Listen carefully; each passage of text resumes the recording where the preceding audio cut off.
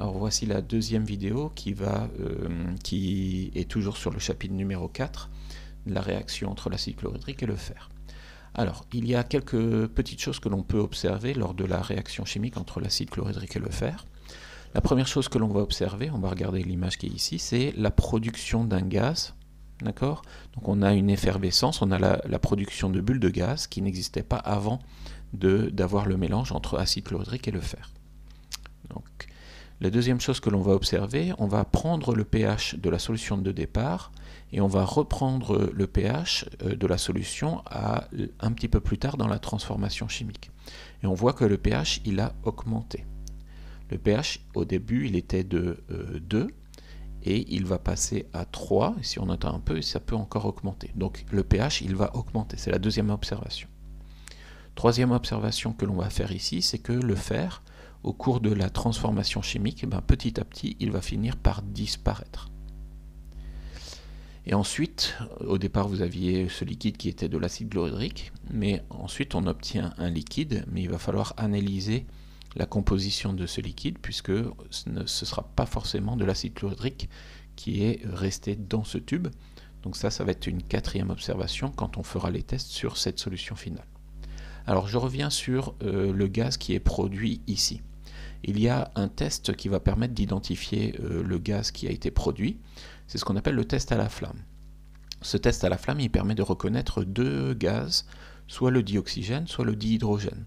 Sauf que euh, le test à la flamme, il ne va pas avoir euh, le même résultat si on a la présence du dioxygène ou du dihydrogène. En présence de dioxygène, vous avez la flamme qui va se raviver.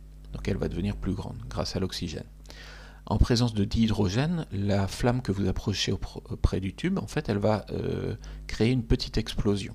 D'accord? Donc ici, par exemple, si j'approche ma flamme, si je fais le test à la flamme lorsque je fais ma, ma, transformation chimique entre l'acide et le fer, eh bien j'entends cette petite explosion. Donc le gaz qui est produit, c'est du dihydrogène. La formule du dihydrogène, c'est H2, c'est composé de deux atomes d'hydrogène. Donc le gaz qui est produit ici, c'est du dihydrogène.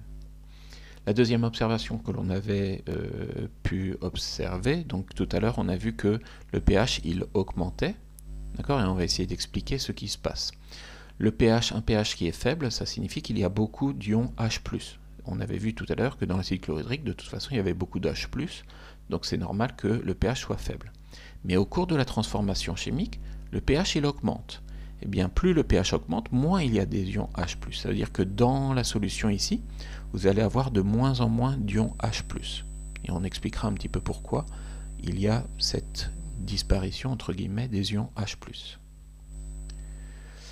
La troisième observation que l'on a faite, donc, c'est le fer ici qui va finir par être décomposé, qui va finir par disparaître, et on va essayer d'expliquer pourquoi ces atomes de fer qui forment ce métal va finir par euh, ne plus être visible dans le tube.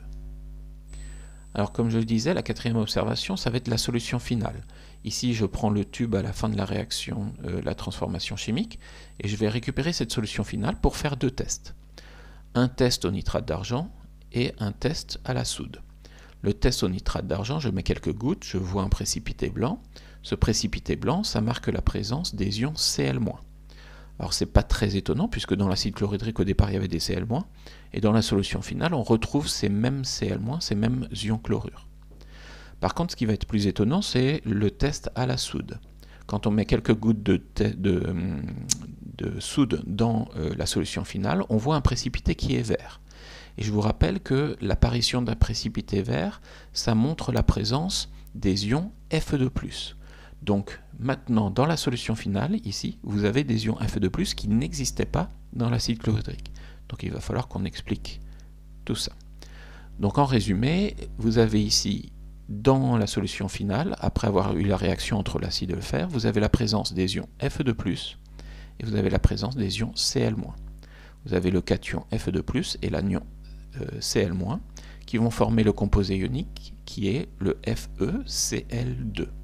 N'oubliez pas que vous devez prendre deux négatifs en face d'un Fe2+, puisqu'il y a deux charges positives. Eh bien, on va l'indiquer par ce petit indice, 2Cl- en face d'un Fe2+. Le nom de ce produit chimique, c'est du chlorure de fer 2. On va terminer par euh, une autre vidéo, ce chapitre, donc la troisième vidéo, permettra de comprendre ce qui s'est passé entre cet acide chlorhydrique et le fer.